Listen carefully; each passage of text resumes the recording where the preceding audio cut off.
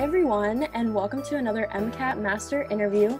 For those of you that have been following the series, obviously I am not Sam. So, my name is Monica. I'm new to MCAT Mastery. I'm a recent graduate and I actually took the MCAT last year, and I'm really excited to be doing my first top score interview. So, in these interviews, we basically talk with MCAT top scorers so that we can find out what strategies help them the most in their process and hopefully inspire you as you're studying because we know how tough it can be. And even top scorers have struggled with the MCAT, but they managed to increase their scores to competitive levels. So we want to show you how they did it so that you can do it too. And with that, I'd like to introduce you to Renata Buffalino. Renata, welcome to the series and thanks for joining us. Hi, thank you so much. I really appreciate you guys reaching out and wanting to talk to me. Yeah, we're super excited to hear from you. So, just a little background on Renata. Just two weeks left before her test date, she signed up for tutoring with us to hopefully increase past her 503 505 range where she was stuck. And even with such a short amount of time, she was able to lift her score to a whopping 511 in just two weeks. That is so impressive. That's awesome. So, congrats on that score, Renata. That is amazing. Yeah, thank you. so, in the interview, we're just going to dive into understanding exactly like how you achieved that increase, how you studied, how you scheduled your prep, and what strategies you used for each section, and so much more. So, lots to come. Very exciting. And why don't we get started? So, Renata, do you want to just start out by telling us a little bit about yourself? Yeah, sure. I actually started like thinking about slash actually studying for the MCAT in January. So my test was in June. And so I was like, okay, I'll give myself a whole semester basically.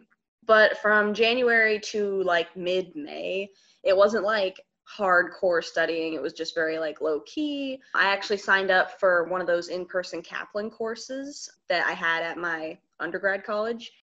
And um, it was helpful. I met with that guy like once a week, and he would just keep, you know, me and some other students on track with where we were with the MCAT and everything. And then that came with all the Kaplan books and the videos and like the practice quizzes and stuff. So I would definitely recommend that. Some people don't really vibe with Kaplan that much, but I thought it was helpful. The books are pretty expansive, and um, the stuff online was really helpful to me because sometimes when I didn't understand like a specific topic, the videos would really clarify it for me. And then the practice quizzes really urge you to like stay on track and they keep a huge inventory of the subjects you get wrong versus right. So I would definitely plug that. And then also I used a lot of flashcards. There's this app you can use on your computer called like Anki, spelled like A N K I, mm-hmm. and you can download like MCAT flashcard decks that are already made online. So totally free. So I used that also. And so for the most part, like for January to May, I was just doing that course once a week and like just trying to keep up with it and then doing flashcards. And then at the halfway point when I graduated in May, and then the rest of June that I had before my test date, I just hit the pavement like super hard. Yeah. So I guess my advice would be switch it up. Like, don't just use one thing. Like, whenever I got bored of reading, I would switch to flashcards. And then when I got bored of flashcards, I would switch to videos. And then I would go back to reading. And like, you can't just stay with one thing because studying one thing or like studying one group of things for four months is insane. Like, you will want to like smash your head into the wall. yeah definitely finding diversity in like what you're doing so that you can stay interested like yeah. in the content and everything it just demands so much attention yeah and you can lose that attention if you're not you know keeping yourself interested so i yeah. totally get that so tell us about your undergrad too like did you know you wanted to be pre-med like from the get-go and all oh, that oh yeah I knew I wanted to be pre-med since high school. It's always been like a one-track mind. I actually I was a neuroscience major, so I took a lot of specialized neuroscience classes and also this is important i took a lot of psychology classes which is why my psych score was mm-hmm. i mean mm-hmm. so good like i'll i'll, t- I'll talk about strategies i did for that but let's not forget i took a lot of psych courses so i've always struggled with um, math and like advanced chemistry and stuff i mean who doesn't struggle with organic chemistry so right. i mean that's not like that huge but i mean even basic math and physics was like never super strong for me so that's why my chem and phys section was not surprising to me yeah but other than that um you know i was involved in stuff I did like community service and uh, clubs and stuff like that. So it was fun. I liked my college career. yeah, definitely. I was going to ask you about that. Like, did you take a lot of psych classes? Like, what was going on there? So that's super interesting that your major definitely contributed to the the score that you saw in psych, which was an amazing score. So that's awesome. So you were studying from January to May a little bit while you were still in undergrad. So we were talking about undergrad a little bit, and you said that you knew you wanted to be pre med from since high school. So what made you, I guess, want to go on the path to become a doctor to begin with? Well, my dad works as a chiropractor. Um, I actually went to high school and grew up in Bozeman, Montana. So my dad was like, you know, I mean, we lived in Bozeman for a while, but we also lived in like Wilsall and Livingston, and like there's a lot of like smaller places, you know, in rural Montana. And so it was cool, you know. I shadowed my dad um, a lot, and I would just see him like run around and, you know, do a lot of healthcare related stuff. And that was a big contributor to why I wanted to go into medicine also you know as i started to take like you know those silly like biomed classes in high school that are like kind of like driven towards that like i really like the body systems and i fell in love with the brain especially. Like i love all that psych stuff and the neuro stuff. I actually wanted to go to the college i picked because they offered a neuroscience major. That was one of the main attractions to me. I've always just been super interested in like how the body works and how it does its thing, you know?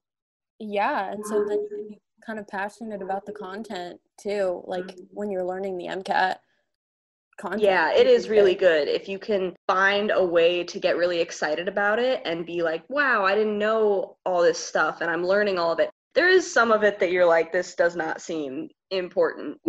and you're going to find that. But a lot of it, like especially the bio stuff and to me, the psych stuff, it's just, it's amazing how much you realize you don't know even after you know mm-hmm. four or three years of college. Yeah definitely. And i also think that the mcat is interesting in that way because of the passages. So like you're reading mm-hmm. these passages and it gives you like kind of real world applications of these things like for example that you're learning in psych which can make the mcat kind of interesting. Like right. it's like not good enough that you just know the fact. Like they're going to interweave it with seven other topics that you might have looked at like earlier or something else and you have to piece it all together it's kind of cool yeah it's like a puzzle almost a very challenging i wouldn't puzzle. go so far to call the mcat cool because you know we're not friends but I guess the the information is cool. It's a professional relationship yeah. rather than a friendship. exactly. Um, but you're acquaintances. You're not enemies, which is the important thing. exactly. Yeah. So, um, you started studying for the MCAT in January. Do you want to just like talk about, you know, everything that happened in March, the coronavirus, like how all of that kind of affected? Sure. Um, so just like everyone else, it was surprising. Right. Um, it kind of came out of nowhere, and it really sucked for me um, because I was a senior at the time.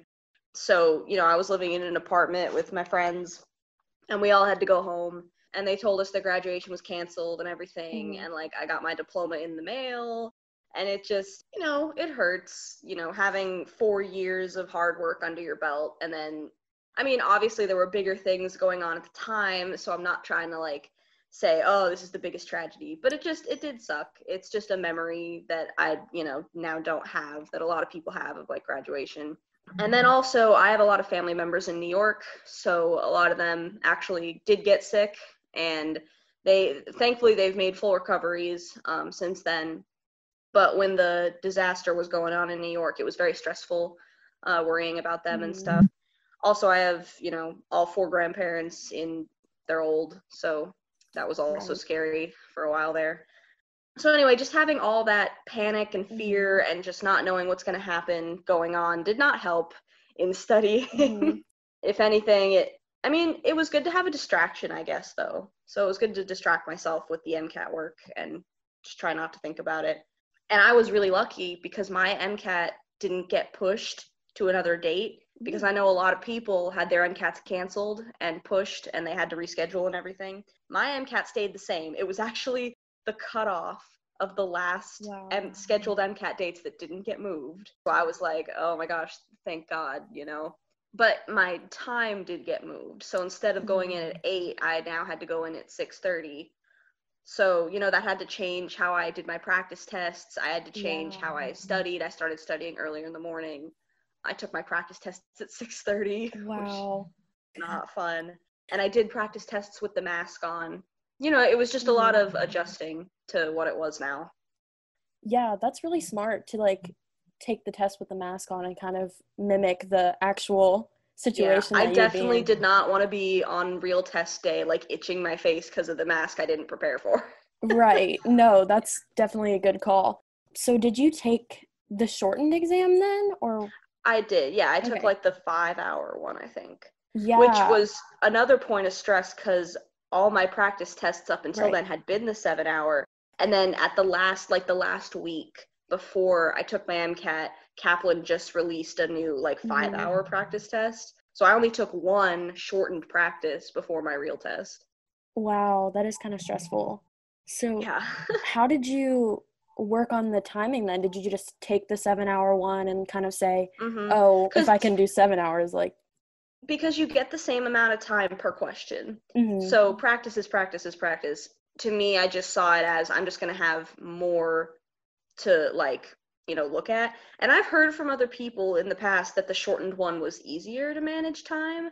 So, but, I mean, I Mhm. wasn't going to take others' word for it, but I just figured if I practiced answering questions in the time that they needed for the to complete the 7-hour one, then it would fall into place for the 5-hour. But I I think that if you're given more five hour practice tests and you're going to take the five hour test, then definitely do the shortened practice. I just didn't have the option at the time because it was also new. Yeah, but you adjusted, so and it went well, so that's good. Yeah, I think actually the shortened test was better in a way Mhm. because I didn't get so tired. Like you by the end of the 7 hour one, you are just ready to submit. You don't even care what the score is anymore. You you just want to go to bed, you know?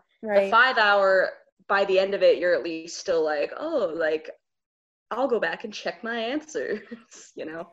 Right. And maybe since you took those 7-hour tests in the beginning, you built up like this endurance and Stamina, could yeah. right.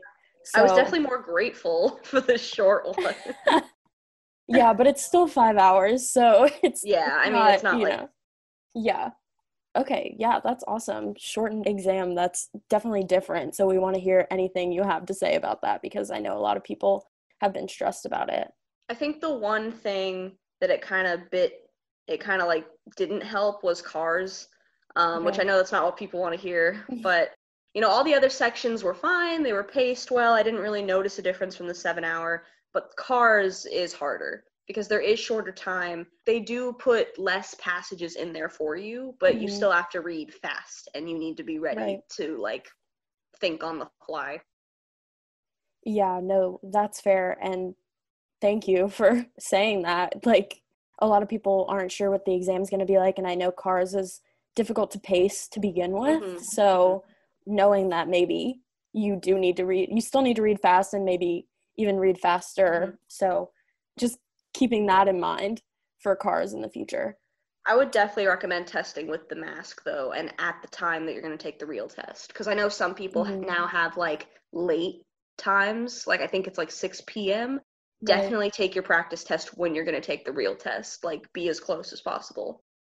Yeah. Yeah, because you, you know, 6 p.m., you could be hungry or something or like Mhm. tired. So you want to make sure you're mimicking those. Yeah, that's Mhm. awesome advice. I personally can't eat very much that early in the morning or I'll get Mhm. sick. So I had to try multiple different foods to eat that early in the morning to see what wouldn't make me sick but would also keep me like focused. Yeah, and like, can I have coffee or not? Like, all Mhm. these different things that you need to be thinking about that are smaller things, but strategy wise. Exactly. Yeah. So, um, that being said, when you started your MCAT prep before all of this, like you knew you were going to be taking it in June, um, what was your score goal and like how did you come up with that? So my score goal took kind of a roller coaster type of uh, dip halfway through. Mhm. Like everyone taking this test, you start to think, oh wow, I don't know why I thought I could get that. I have to compromise. And that's just a horrible thing that the test makes you think because that comes after so much self doubt and mm-hmm. seeing bad scores and thinking, I don't know who I think I am because this is not going well. So my mm-hmm. original score goal was a 512 because my med school advisor um, at college and a lot of other websites and resources I looked at said that 512 was competitive. And my stupid child brain was like, oh, that should be fine. I can get 512, no problem. Mm-hmm. It won't even be an issue. And my baseline diagnostic was a 493. And I thought, that's fine. You know, that's without any practicing. I'll just slowly bring that up. But as I did practice tests and practice tests and practice tests, um, I started to realize I started to compromise with myself. I was like, okay, maybe not a 512, maybe a 510. 510 is my new my new score goal because I could not get above a 505, which was so infuriating because you watch a steady climb of your score and then you just get stopped. And you're not doing anything different. If anything, you're you're still reviewing and you're going harder than before and it's just not changing so that's that moment is when I reached out to MCAT Mastery because I was like, clearly I need to do something else, you know? Right. So what do you think like was keeping you at that 505? Like what do you think your biggest challenge was? I personally think so all my other scores were in a decent range and they kept increasing except chem and phys. Mm-hmm. Like my bio was fine. I mean, it wasn't great, but it was fine my cars and psych just kept increasing because mm-hmm. I mean, the more you practice those, the better they get, in my opinion.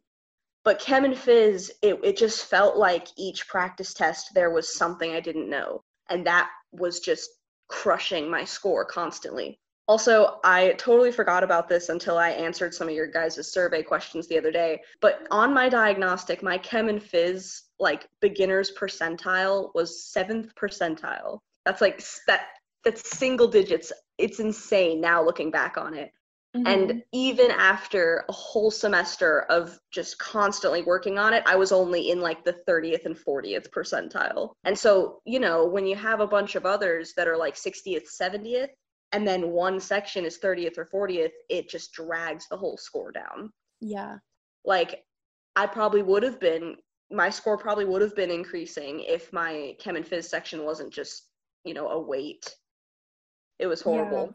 Yeah. yeah. And a, a part part of that wasn't only just because of the content. Like I was pounding those equations into my head, but a lot of it was you know my mental state was oh i'm bad at this and so that mm-hmm. just makes it come true it's like a self-fulfilling prophecy so i think one of the greatest things that my tutor did for me was just really pinpoint why i had this mental hang up and why i think i'm so bad at it and like how i can change my studying strategies to be more confident.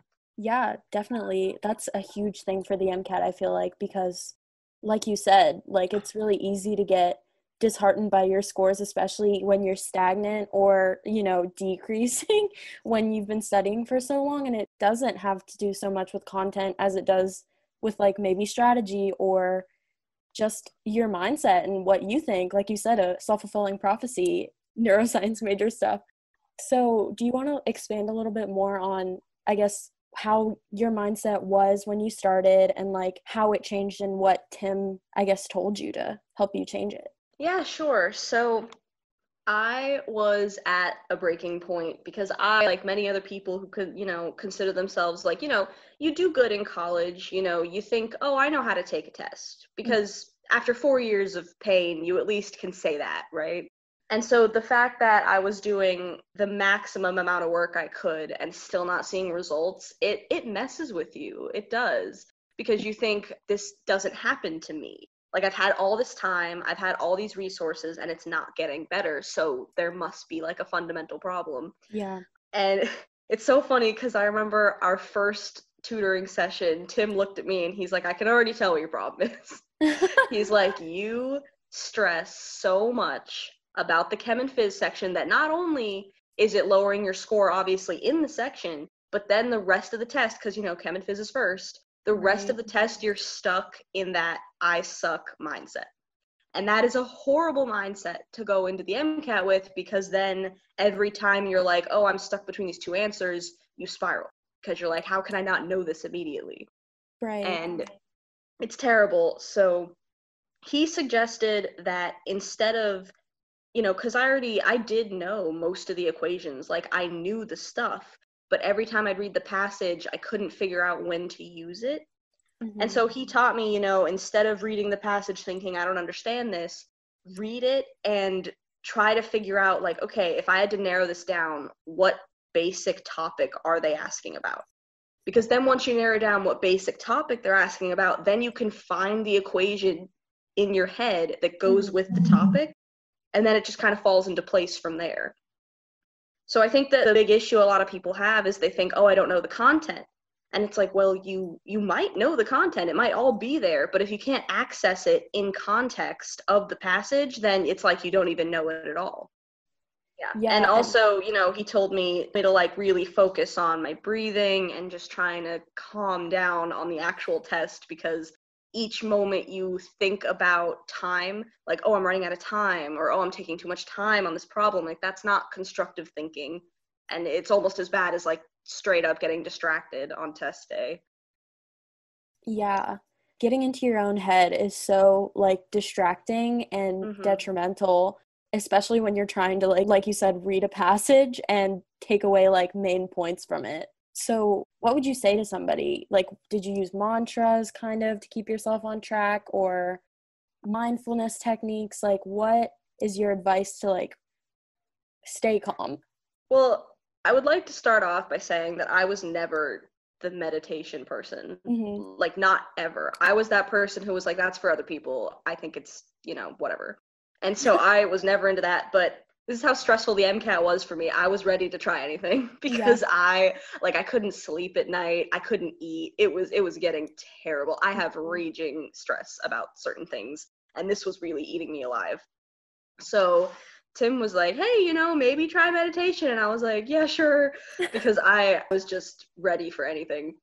I'm so surprised to say that like even 10 minutes a day, like before I started my study sessions every day, I would just sit down and like you know sometimes listen to like a youtube guided meditation or whatever or sometimes just sit there in silence but really just take 10 minutes to be like okay you're going to get frustrated you're going to be stressed out you're going to see bad like you know on my practice quizzes you're going to see bad scores and you're going to get stuff wrong.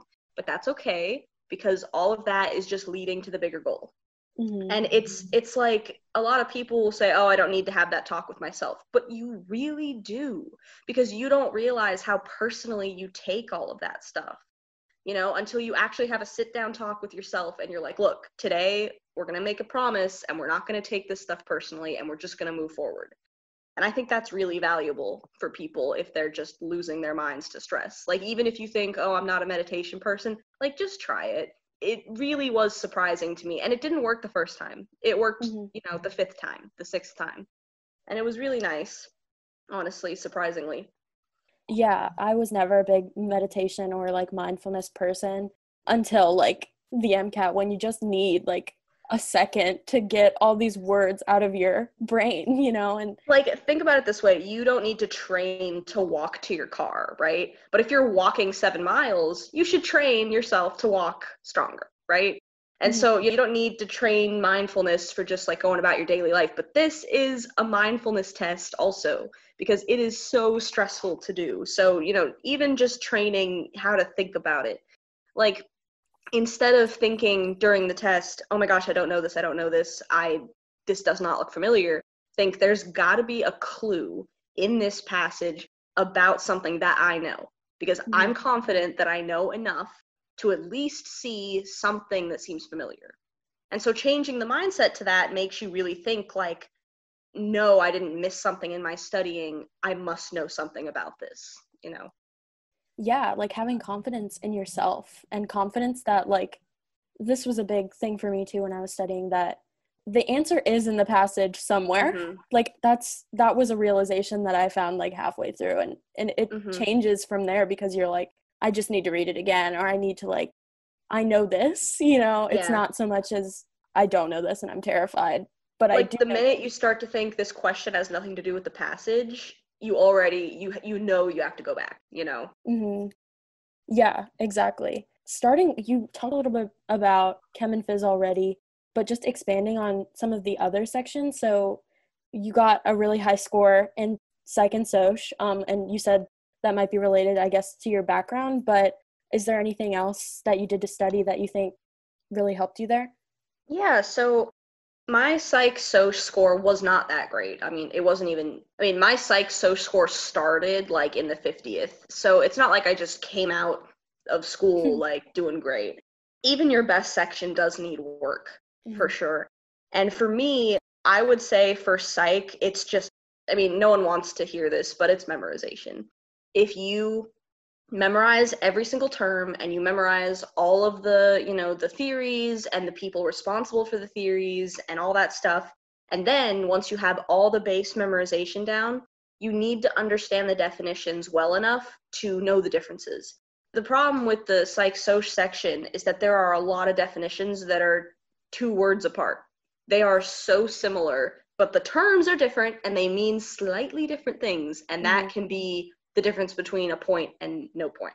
And so for that, I would say I talked about that flashcard app. That helped me tremendously. I mean, I probably did 600 psychology terms in flashcard form. And by the entire semester of doing those flashcards, I was dreaming about them. Like, I could do them so fast. And then if you feel like I, I know this, like I memorized it all, what's holding me back? Um, what you might need to do is when you take your practice test, there's four answer choices each time and the MCAT tries to throw in an answer choice that's completely foreign and not in your studying. And the problem with that is you'll go, oh, I can't rule that out because a lot of psych mm-hmm. is just ruling it out. You say, oh, well, it can't be that. That doesn't make sense. It can't be that. That doesn't fit. Mm-hmm. And if you find one that you're like, I don't know what that means, you start to think, I can't rule it out. So the one that I thought made sense might not. And that self doubt is what causes issues. So yeah. what will really help you is if you look at your practice tests, go through even the answer choices, even if you got it right, go through the answer choices that you don't recognize.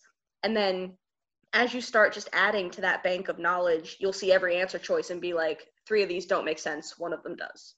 That's really good and really specific advice. like I love that. that's, that's honestly what I did just like every time I reviewed a practice test, I it, it was annoying because it took a lot of time, but I would just go even Googling definitions of yeah. the answer choices I didn't recognize. Yeah. So when you reviewed exams, you kind of reviewed everything, even the things that you got correct, and just like oh, made oh, yeah. sure that you mm-hmm. got it correct kind of for a reason and like knew. Mm-hmm. I yeah. will not be the first one to tell people this, but your practice tests are your friends. They will help you the most because you need to pinpoint exactly what the problem is because this test is so big, you can't just say, oh, I'll just review it all again, because that'll take you another six months. So mm-hmm. you need to pinpoint this topic, this topic, this topic exactly. Yeah, and then you can troubleshoot from there, I guess. Mm-hmm. And that's what you did. You knew you needed ChemPhys help, and so then you reached out from there. yeah. inc- increased your score. So success story. Um, so moving on to cars, um, just because cars next you also did well in that section. What do you, what advice do you have for that section? You already kind of said pacing mm-hmm. is different on this exam, but yeah, the pacing what again i think cars is the one section that suffered a bit for the shortened test just because maybe it's just because i got so used to the seven hour one but in my opinion the five hour one it's a bit more like ah the clock's running out but mm as far as cars goes, I would say there's really not much else to do but practice. Um, but you need to start, obviously, everyone will tell you this, you need a strategy. People who are like, oh, I'll just read the passage and wing it, you're not going to do well. Uh, there's a couple strategies out there. I think MCAT Mastery has some. There's like you can outline or highlight, or um, there's one called like interviewing, I think. I use the outlining which was just picking main ideas and writing tiny little blurbs on the you know on the side of my notes to keep track of what the paragraph was talking about. And one of the biggest things that helped me with cars is after i read the passage i would take like five seconds you know and just reiterate okay what is the author saying? What are what are his opinions? What is the point of the essay? And what is trying to trip me up? Because the sneaky thing the mcat will do is they'll have the author talking about his opinion or her opinion And then all of a sudden they'll say, oh, and this other group of people has this opinion, but they won't make that clear at all. And so you will get confused and think, oh, well, this is also his opinion. And you mm-hmm. have to, like, that's why the tiny moment after you read it, the five seconds need to be, okay, this is his opinion, this is their opinion. I need to make sure I have that because questions Yeah. will target that because they're mean.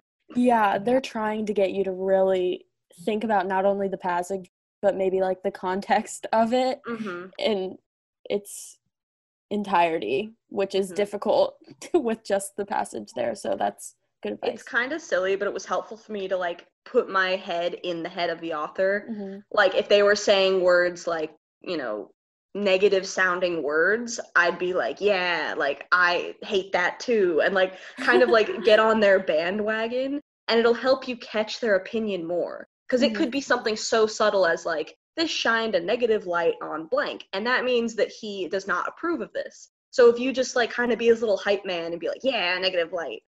Yeah. that kind of helped me in a weird way. When you get to the question that's like, what would the author say in response to this? Well, you're Mhm. I basically know because I've been from Yeah. the perspective this whole time. So that's smart.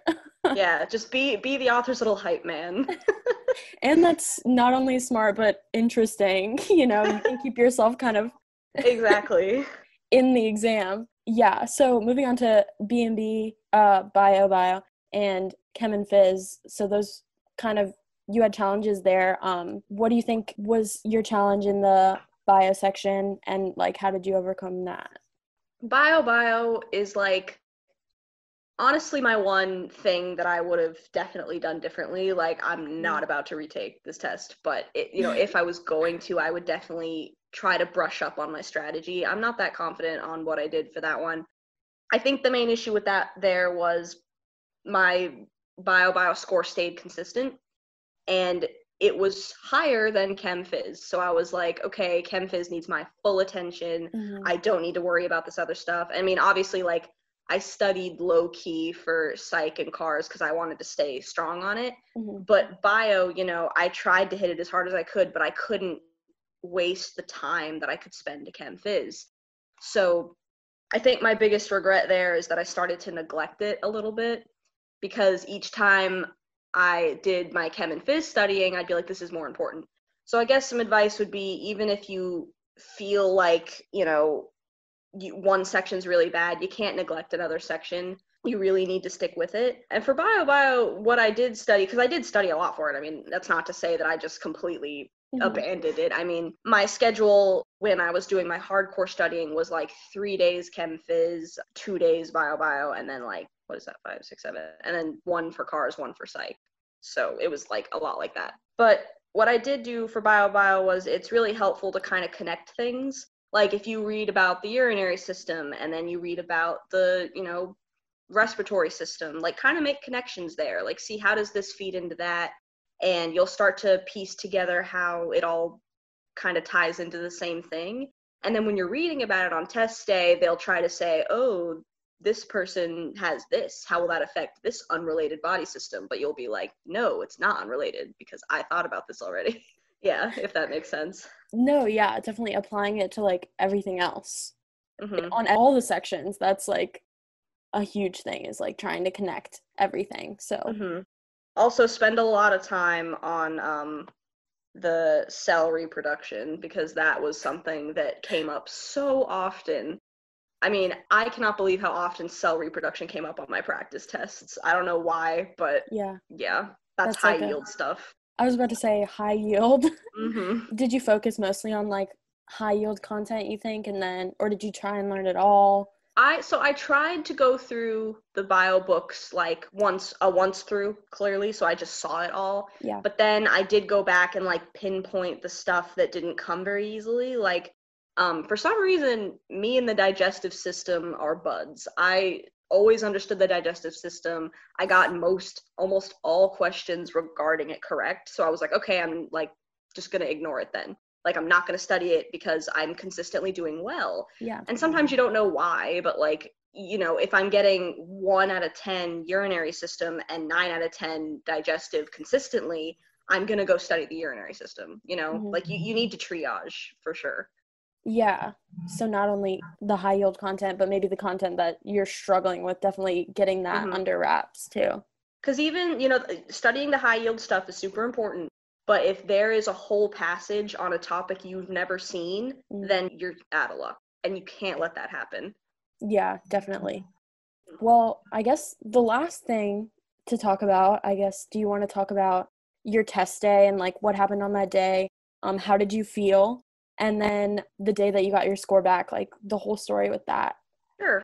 So, my test day, that was probably the worst night's sleep I've had in my entire life. Like, I woke up from nightmares. I had sweats. Oh it it was awful. It was terrible. So, I would like everyone to know that if you are panicking because you did not sleep the night before your test, it's fine. It's going to be fine. Don't worry about it. I woke up. Well, I woke up. I woke up like three hours before and I'm like, oh my gosh, I'm awake and I can't go to sleep. This is terrible.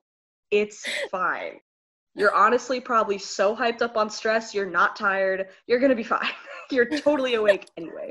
And the day of the test, honestly, okay, this is a little silly, but I wore the exact same clothes that I wore for every practice test, which since I took them at 6:30 in the morning was pajamas, and I didn't Mhm. care.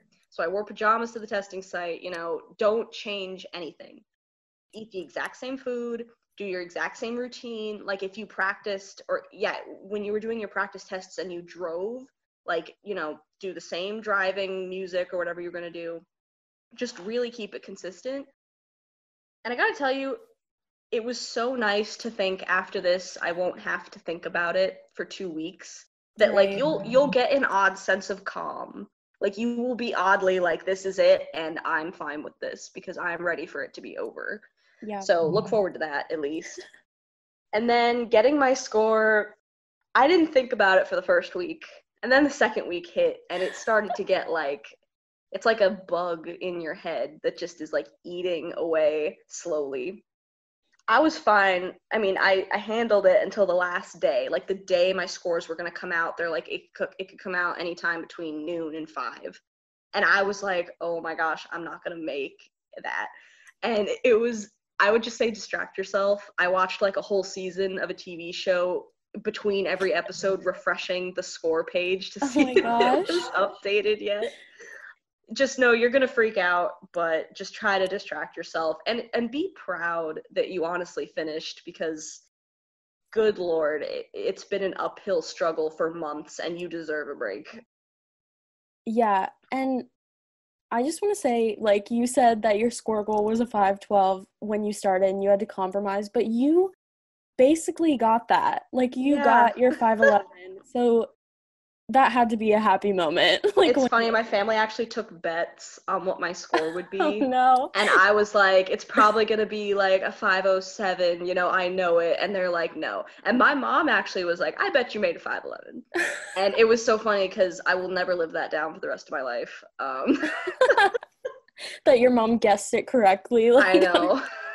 she knew. She had the gut feeling. I know. She spoke it into existence. Exactly. That's the reason. No, I'm just kidding. Um, you got it because of hard work. Right. well, Um, anyway, it was a huge surprise and it was actually like higher than even my highest practice. So that's another Wow. thing. Like go in with high hopes. It's going to it'll all work out. It'll be okay. Yeah. And now you're done. How does it feel to just be here and now you're applying to med school? Like, I got to tell you like I may sound super, you know, chill and like, oh, you know, this is what I learned, but thinking back on it, it's it was such a dark place like anxiety wise and I'm Mhm. just really glad to just be done with it. Um, and if anything, I help. I think it helped me to learn how to deal with this kind of big pressure better. Because you know, there's going to be big tests in the future. I'm going to have big tests in medical school, and so I think that this taught me, you know, when things get bad, like you know, meditate. When you're not seeing progress, try to switch up your studying tactics. So, as terrible as the MCAT is, it does teach you some things that are valuable. yeah, I love that. Even not only academically, but like personally about yourself. Definitely, yeah. It's a journey and you're done. So, congrats on your score. Is there Thank you. else you want to say to students who are potentially going through it right now? Um, I would say, you know, My last piece of advice don't read the stuff online or talk to your friends who are super negative. I read stuff online that was like, I made this score on practice tests and this score on the real one, and like it was much lower, and stuff like, oh my gosh, I'm not getting into my dream school, and stuff like that, and it it just made it ten times worse. It's like gasoline on your fire. Don't do that. Like, listen, read the MCAT mastery emails, stay with positive people. O- like, only read the positive stuff because the negative stuff, it's out there and it's brutal and you might think, oh, well, I want to see what's realistic. And it's not even realistic because those people are just commiserating and they're all just mm-hmm. sharing their horrible stories. And the truth is, that's not like realistic either. So stay away from that. Stay positive. You're already going through enough. Definitely stick to the positive stories. Yeah, definitely. We we believe in that too and we just want everyone to know that you can do it. Like you don't yeah. need to be misery loves company and you don't need to be in that company like exactly. you can do it. Thanks so much renata like for sharing your story and walking us through everything you did. This was super fun that we got to catch up.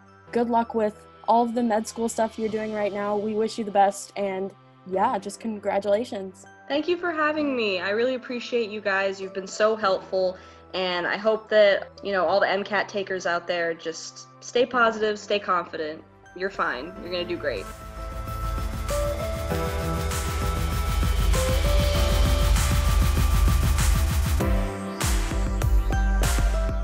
Hey guys, this is Monica again, and before you go, I just want to remind you to sign up for our free MCAT Mastery Strategy emails if you haven't done so already. So, with those emails, we'll basically just send you tips and advice along with other success stories like Renata's so that you can hopefully gain inspiration while you're studying, in addition to some practical tips for how to move forward with your study process. And you can sign up for those at mcatmastery.net slash free course. In addition to that, if you're feeling really stuck and really unsure of how to increase your score, or you're feeling super low on confidence, or you really just want someone to walk you through the exam and figure out what your personal struggles with it are, you can do exactly what Renata did and sign up for tutoring with one of our MCAT mentors. Many of us have struggled with the exam ourselves, so we just want to give you the advice that we'd gotten when we went through it. And so to sign up for sessions with us, you can do that at mcatmastery.net slash mentors. And lastly, thanks so much, guys, for listening. Don't forget to give yourself breaks, practice self care, and remember the most important thing you really can do this. Thanks, guys.